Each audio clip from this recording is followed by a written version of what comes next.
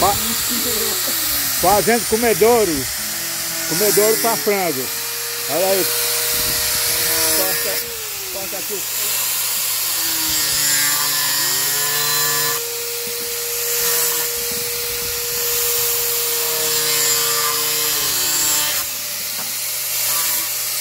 Dez, dez.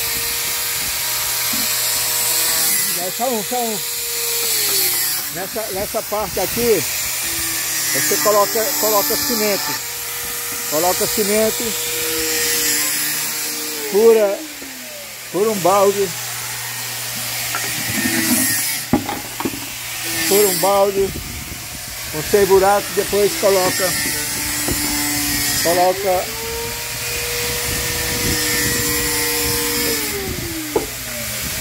Tá, daí você bota a alimentação e ela desce por, esse buraco e a, e a galinha come.